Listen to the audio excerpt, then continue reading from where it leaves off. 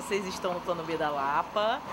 A gente está fazendo amplificadores dentro de latas de Pringles e vamos sair em bloco no Carnaval agora em 2011. Sou Fátima e eu faço latinha aqui também. A gente começou a fazer esses amplificadores porque eu fiz com um amigo meu em casa. A gente postou o um vídeo na internet da gente tocando guitarra com um amplificadorzinho que a gente fez. E, e aí várias pessoas começaram a falar que queriam aprender e eu tinha feito uma marchinha de carnaval ano passado para tentar entrar no concurso da Fundação Progresso. Não passei, mas vários amigos meus falaram: ah, você tem que sair no carnaval tocando isso. E eu fiz uma performance ano passado que eu andava com os amplificadores é, e a guitarrinha tocando, essa mini guitarra aqui, tocando e cantando pela rua com esse capacete com a, uma, me auto-iluminando e com, a, com o som tocando. E aí várias pessoas falaram que também queriam fazer isso comigo. Quando a gente fez esse amplificador que ficou muito barato, a gente falou, ah, então vamos juntar, fazer um bloco para sair cantando essa marchinha no carnaval. Vou bloquear, vou desligar. Hoje é carnaval de novo. Vou bloquear, vou bloquear. Não me leve a mão. Vou bloquear, vou desligar. Hoje é carnaval. Thiago Rubini. Eu conheci a Mary no ano passado, numa oficina que a gente fez no Parque Laje uh, de arte sonora. Né? É, no final das contas, a gente manteve contato e tal, é, mas a gente se encontrou também em outros workshops. Né? E quando eu fiquei sabendo da, da iniciativa dela de fazer essa oficina para montar os mini amps nas latas, eu me empolguei bastante, eu tenho interesse por isso. Foi uma oportunidade para continuar trabalhando com uma coisa que eu já tenho interesse. E aí, assim fizemos. A gente ofereceu aqui para o Plano B a ideia, vamos fazer, de graça mesmo. A gente vai ganhar aprendendo a fazer, conhecendo gente que está afim de fazer. E eu, sinceramente, acredito que disso a gente vai fazer ainda muitas outras coisas legais, porque a gente está aprendendo junto e querendo continuar a fazer junto novos circuitos e ficar móvel, fazer show de música, assim, chegar atacar num lugar, num showzinho, sair para outro. E eu acho que essa é a diferença da gente, que a gente está afim de criar um movimento mesmo, não é só no carnaval. O carnaval é desculpa para a gente começar. E deu certo. Vamos emendar de novo, hein?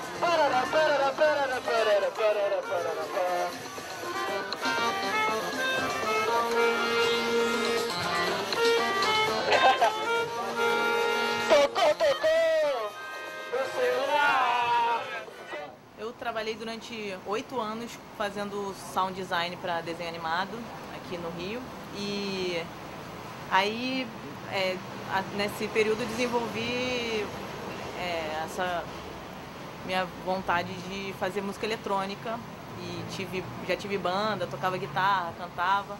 Eu nunca tinha construído nada é, eletrônico, nunca tinha soldado nada, até final do ano passado. Então, na verdade, esse é o primeiro projeto que eu aprendi realmente a fazer. Então, é, tá sendo uma boa experiência, uma maneira nova de fazer música. Eu produzo música eletrônica, mas principalmente em software, né? em ambiente digital mesmo, de computador, e está sendo uma, é, uma, boa, uma, é, uma boa maneira de descobrir novos meios de fazer música. Não tenho formação nenhuma em, com relação a isso, com eletrônica, nenhuma, zero total, sou tradutora, é, mas sou apaixonada por música, já tive uma banda, é, até por causa disso que eu conheci a Mary Fê, que a gente né, circulava nos mesmos meios. E assim, o objetivo que eu tenho é realmente desenvolver uma coisa que está ligada a essa minha paixão por música, assim. Tem nada além disso. E acho que fazer, para mim, sempre foi, foi... O que me motivava a trabalhar com música era a coisa do coletivo mesmo. E aqui é 100% coletivo e isso é maravilhoso. Porque a gente aprende, erra junto, acerta junto, descobre as coisas, fica mais, mais legal, né? É, esse projeto da lata a gente pegou, da, da lata em si não, mas o projeto do amplificador a gente pegou na internet, num site chamado Instructables, que dá tudo de graça, é open source. E aí a gente pegou para construir, modificou um pouquinho. E o lance da lata surgiu porque a gente ia ter que fazer uma caixa para botar o amplificador. E aí, olhando lá em casa, pensando com isso na cabeça, eu vi que o tamanho do falante era o mesmo tamanho da, da boca da Pringles. Aí a gente tentou, deu certo e aí ficou sendo a lata mesmo. Depois, a gente fazendo junto, a gente descobriu que com falante maior e uma lata de dessas maiores de leite e tal, ficava super legal também, porque dá um grave que essa latinha não dá tanto. Agora, quanto aos componentes e tudo, você compra em loja de, de eletrônica, é baratinho e as latas a gente recebeu doação, algumas eu comi batata mesmo, outras recebeu doação de outros que comeram batata. Aliás, eu acho que essa é uma, é uma coisa que atrai também. No momento que parece que não tem nenhuma possibilidade fora do mercadão, a gente conseguir fazer a nosso, do nosso jeito, com as nossas ferramentas, uma coisa muito legal e muito original. Teve gente que veio pelo jornal, que saiu no jornal. É... Tem todo tipo de gente, tem é, a maioria eu acho que nunca soldou na vida e chegou aqui e começou a soldar. Todo mundo tem essa experiência de ter que pelo menos queimado dois amplificadores antes de acertar o seu primeiro. Ou acertou e depois queimou outro. a gente sempre queima algum. Algum amplificador vai para o espaço.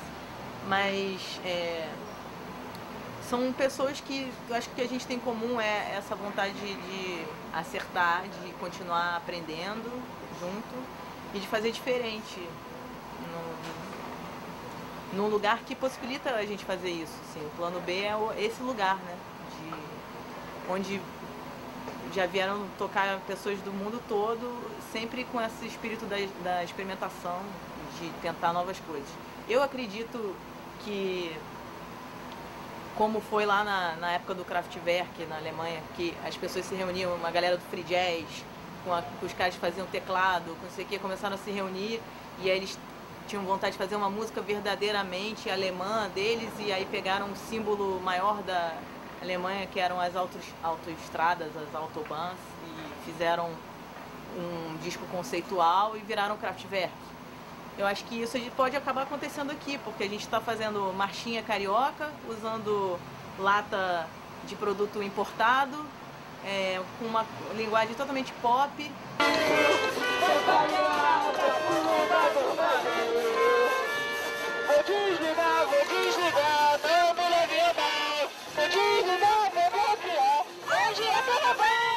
E gente de tudo que é background diferente querendo fazer alguma coisa nova, eu acho que disso a gente pode muito bem criar um movimento de música móvel, assim, que vai ser extremamente original, com a nossa cara, do atual pro, pro momento que a gente está vivendo no mundo. Acredito nisso. Demonstrando um amp na lata pronto, customizadinho, com a bateriazinha presa aqui. É, vou tocar a partir do Nintendo DS, entra o sinal aqui no jack de guitarra e é amplificado por ele. Vocês vão ver o efeito que dá. Eu vou brincar um pouco aqui com a dinâmica da, da entrada e saída de ar aqui.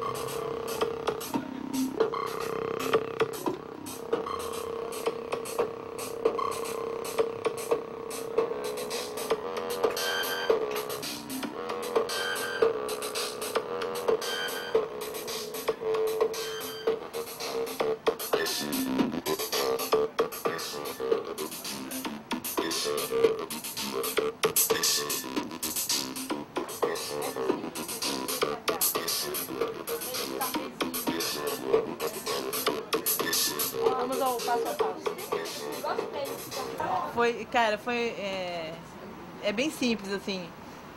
Eu um dia me ligaram do, de um desses negócios de vender coisa por telefone, de celular, sabe? E o cara foi tão grosso comigo que eu tive que ser grossa de volta. Aí desliguei e fiquei com isso na cabeça. Bah, grosseria já era grosseria, né? Eu tava aqui na minha, quietinho, o cara me ligou, me fez ser grossa com ele. Fiquei com essa ideia dessa frase um tempão e querendo fazer a camiseta e tal. E aí, com essa história do bloco, como eu queria que não tivesse só a marchinha que eu já tinha composto, queria fazer uma coisa coletiva, eu falei, ah, vou pegar essa frase, que é bem carnavalesca também, e dessa, dessa frase a gente faz uma música pro bloco. Todo mundo se ligando, todo mundo se ligando. A você toca porque está chamando. Todo mundo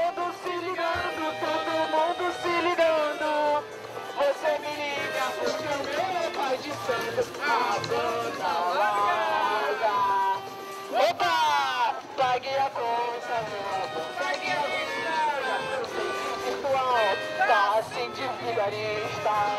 Meu telefone alguém pediu Foi pra ligar pra Cuba do Brasil Olha o projetor, vou desligar, vou bloquear Não me leve a mal Vou desligar, vou bloquear Hoje é carnaval Vou vou desligar Não me leve a mal Vou desligar, vou bloquear Hoje é carnaval